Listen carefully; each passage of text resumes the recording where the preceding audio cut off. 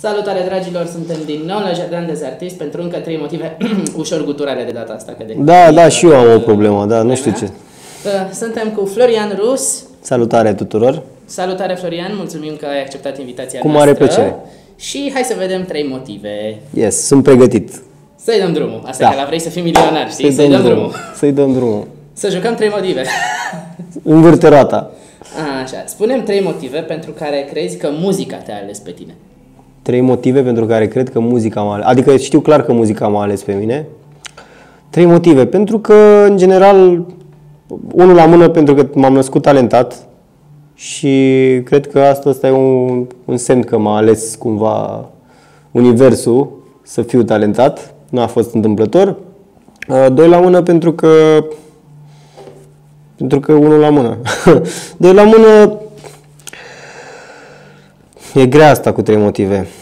De ce cred eu că muzica m-a ales pe mine? Eu cred că am ceva de spus. Cred că am niște mesaje de dat, de, nu știu, de adus la cunoștință lumii și uh, trei la mână pentru că cumva cred că știa muzica că mă face fericit și atunci a zis bine, te, te voi face să fericit, fac hai, fericit, hai să te nu? fac fericit. Asta trei, da. Uh, Dăm trei motive pentru care ai ales să cânti în limba română și nu în engleză sau... Eu cânt și în limba engleză, așa că nu știu cum să-ți dau trei motive pentru care am ales să cânt în limba română. Cânt și în limba română, pentru că mi se pare că avem o limbă foarte frumoasă, uh, pentru că sunt anumite lucruri pe care nu ai cum să le spui în nicio altă limbă. Nu ai, de exemplu, dorul nu se traduce nicăieri și de acolo și piesa. Asta e piesa mea de dor.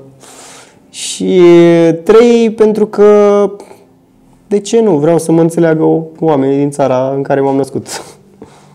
Asta e limba mea. Uh, Dăm trei motive, uh, sau mai bine zis, dăm trei străzi din București care îți plac. Trei străzi din București care îmi plac.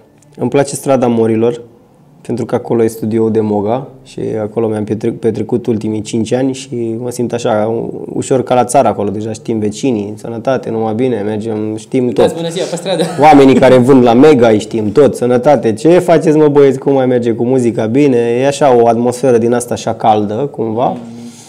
Um, ce stradă? Cred că, dacă nu, Nic- Nicolae Titulescu. Este care dă în uh, Victoriei, Nicolae Titulescu. Nu știu de ce îmi place strada aia. Îmi place mult de tot. Habar n-am, nici nu am un motiv anume. Și um, nu o să zic o stradă, știu că o să trișez, dar îmi place mult Parcul Carol. Mi se pare că e un loc foarte, cu foarte multă istorie și un parc cu personalitate, așa, mai, e cu mai cu personalitate decât alte parcuri din București. Mhm, mhm. Deci nu e o stradă, dar e un parc. Nu e strada, e un parc, îmi pare rău, trebuie să trișez, că nu mai, nu mai îmi vedea o altă stradă. Da. Bine, acum putem să luăm și strada care are aia. Da, corect, corect. Strada, strada din mijlocul parcului Carol, aia care duce în sus, spre monument. Ah, Că tot ai vorbit de, de studioul de Moga. Spunem trei lucruri care, pe care le-ai învățat din colaborarea profesională cu Marius Moga. Bă, cel mai important pe care totdeauna o să îl repet este că trebuie să mun- munca. Asta e, adică o etică a muncii pe care eu nu am mai văzut-o până acum la nimeni, până când m-am întâlnit cu el. Uh, unul la mână că e foarte muncitor și asta cumva știi că e suma oamenilor cu care, de, că, cu care te înconjuri. Uh, el e foarte, foarte muncitor și cumva cred că s-a lipit și de mine chestia asta. Adică mă simțeam prost așa în preajma lui. De nefă- mană cumva, nu? da, eram așa, gen, mă, dar asta tot timpul face ceva, e cu gândul la ceva productiv, să creeze ceva, să... Și asta cumva m-a schimbat. Uh, Doi la mână, pasiunea. E foarte pasionat și cu, a- se mă lipsește, nu ai cum. Dacă când îl vezi așa de pasionat de, de sunete și de tot ce face, îți dă și ție. Și trei, uh, am învățat foarte multe, am furat meserie, cum ar veni, foarte multe chestii de astea de songwriting uh, pe care nu, nu, nici nu, nu mi-am dat seama că le învăț atunci decât după ani. Uitându-mă în urmă, mi-am dat seama, zic, bă, am luat câte ceva, am, am Ai învățat furat câte ceva, meserie. da, am, da, am furat câte ceva. Din toate sesiunile pe care le-am avut împreună și așa, nu e ca și cum mi le-a predat, dar stând cu el înveți, n-ai cum să nu înveți. A fost un profesor Orice om, să-și dea seama, nu? da, da, cu orice om din acesta mare, ca să zic așa, dintr-un, dintr-un anumit domeniu, dacă stai pe lângă el, n-ai cum să nu, să nu dacă ești atent, bineînțeles, nu dacă stai așa. Uh, Dar dacă ești atent și dacă îl admiri uh, pe acel om, n-ai cum să nu preiei ceva, să nu înveți ceva de la el. Uh, Dăm trei amintiri frumoase din experiența Vocea României. Trei amintiri frumoase din experiența Vocea României. Pe odată, uh, prima mea, primul meu impact cu platoul de acolo a fost când mi-a deschis uh, domnișoara ușa la blinduri atunci. Am fost wow, mi- m-au lăsat genunchi, eram gen, mamă, ce am știut eu face în loc să stau acasă, uite-te în ce situație m-am pus. Asta, asta unul. Uh, Doi, uh, țin minte cu drag că mergeam cu un autocar în fiecare dimineață spre platou, toți colegii și drumurile alea îmi plăceau foarte mult. Mă simțeam un pic așa ca în liceu sau nu știu când mai mergeam în excursii, eram foarte bine dispuși toți e, și am, na, făceam o grămadă de glume, ne jucam chestii, să ne treacă timpul și pe acolo pe holuri, asta iară, adică uh, cumva că m-am înconjurat de oameni faini cu care m-am simțit bine.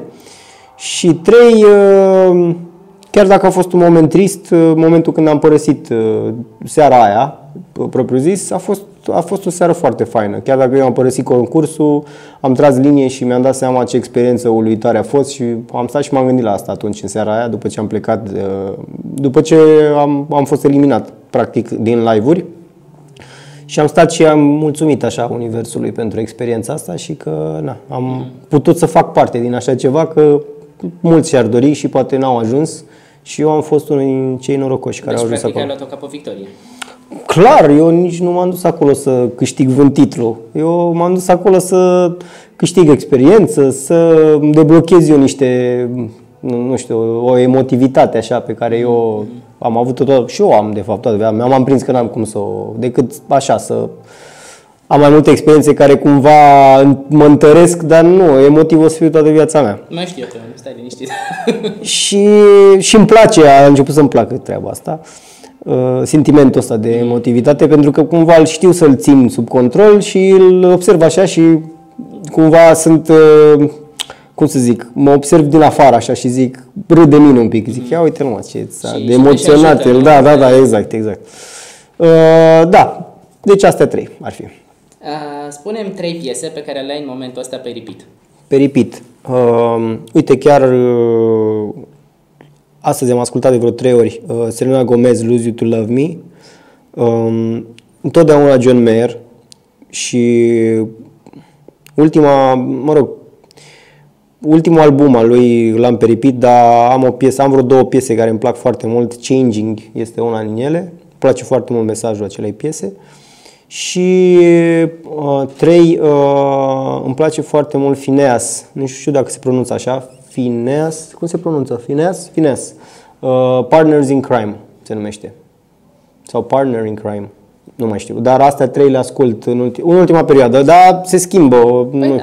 Odată la o Normal. săptămână, două am alte piese Cum pe care apare le... ceva nou, cum exact, mai exact. Cum îmi descoperi place, ceva. da. Am și piese, uite, asta a lui John Mayer e veche, dar în continuare o tot ascult. M- Mai îmi pun în mașină când vreau să mă relaxez așa. Da. Uh, Spunem trei artiști cu care ți-ar plăcea să colaborezi în viitor. Poate să fie români, poate să fie din afară. Da, păi uh, visul meu este să am o sesiune cu Julia Michaels. Uh, cel puțin o dată în viața asta. Și, și în sesiunea aia se poate să și tac, nu e nicio problemă. Să nu zic Numai- nimic. numai să o vezi, doar da? să, să stau acolo și să lucrez cumva, să, văd, să o văd lucrând, să o văd cum scrie. Mi se pare foarte talentată. Și mi-ar plăcea să am o conversație cu John Mayer și să, cine știe, dacă ajunge să facem ceva împreună, wow, ar fi incredibil. Um, am zis doi. Uh, cine ar fi al treilea? Cu, cu Love mi-ar plăcea iară foarte mult să lucrez. Mi se pare foarte fresh, foarte mișto. Și o combinație așa de, nu știu, fresh și old soul, așa, nu știu cum să zic. Îmi Ah, place. E un, e un old adus în... Da, nu, el, el pare un old soul, așa, și face niște lucruri foarte fresh și cumva uh, te și ating. Adică sunt niște chestii care nu sunt așa, mm, nu știu, de plastic, dar cumva făcute cu niște producții foarte fresh. Uh, spunem trei motive pentru care ar trebui să, nu știu, un bucureștean, de exemplu, să viziteze Așa. orașul tău natal, Târgu Mureș. Păi, în primul rând că e foarte frumos. În al doilea rând că avem un complex foarte frumos de agreement, se numește Weekend, așa zicem noi, Weekend. Uh, E foarte fain acolo și uh, vara este minunat, vin de pe toate județele pe acolo la complexul ăsta. Uh, Și mai avem platoul Cornești, unde uh, este grădina zoologică, care este tot așa una dintre cele mai frumoase din țară. Dar ar fi foarte multe motive. Palatul Culturii, p- sunt multe chestii de văzut acolo. Uh, Cetatea medievală din Târgu Mureș e foarte faină. Nu știu, veniți la Târgu Mureș. Visit Târgu Mureș. Eu am Dot fost com. atac din gură, te-am lăsat pe tine. Ah, ok, ok. Um, dă-mi trei dorințe de viitor pe care ai putea să ni le spui. Ce ți-ar plăcea să faci în viitor apropiat? Să învăț cât mai multe despre muzică, să fac cât mai multă muzică, practic, să fiu fericit și să-i fac și pe cei din jurul meu fericiți, pe cât pot eu să-i fac. Uh, și trei, nu știu, să, să mă exprim cât mai în concordanță cu ce simt muzical. Adică să pot să scot din mine exact ce simt eu că ar trebui să fie acolo pe foaie, cât mai aproape de, nu știu, ce simt eu în suflet, cumva. Cam astea sunt. Deci să te pui în legătură uh, Să le ce- pun pe astea ce două, îi vine exact, cu- exact, exact, da. Câteodată simți lucruri și nu le poți exprima așa ușor, nici în versuri, nici în uh, muzică, dar simți că sunt acolo și că e un blocaj și că trebuie să cumva te pui la pian și n- nicio linie nu cumva nu zice Nu-ți exact. exprimă exact ce vrei Exact. tu. Și aș vrea să mă viziteze inspirația în momentele alea și să mai fac câteva cântece pe care să zic, da, mă, uite, astea au venit din sufletul meu, de acolo, nici nu știu cum, nici nu știu cum le-am scris. Efectiv, m-am pus la pian și într-o oră le-am făcut. Momentele alea sunt uh, mulți na, compozitori știu că pentru momentele alea trăim noi foarte mult. Adică profesional, alea sunt cele mai faine momente pe care le poți avea. Alea când vine inspirația, când te Și- vizitează inspirația este o mamă și când scrii totul așa pe nerăsuflate e magic. Și la final îți dai seama că este masterpiece-ul. Și nici nu trebuie neapărat să iasă masterpiece-ul, dar momentul ăla, momentul ăla este magic, indiferent dacă rămâne ceva sau dacă lansezi vreodată piesa aia sau dacă nu, momentul ăla în care simți că ești cumva în concordanță cu tine, cu sufletul tău și că poți să traduci asta, să traduci asta în muzică, e un moment magic și mi îmi doresc cât mai multe astfel de momente toată viața mea. Doamne ajută să fie și să ne bucurăm și noi de ele.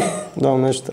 Uh, și uite, ultimele trei lucruri, uh, trei lucruri care îți plac într-o relație de dragoste. Uh, îmi place foarte mult simțul umorului într-o relație de dragoste. Uh, îmi place uh, înțelegerea dintre cei doi, că oamenii sunt complicați și trebuie să existe chestia asta. Și ce să mai îmi place spontaneitatea într-o relație de dragoste. Astea trei. Și în final, pentru că am ajuns și la final, uh, lasă un mesaj pentru cei care ne urmăresc pe Star Gossip.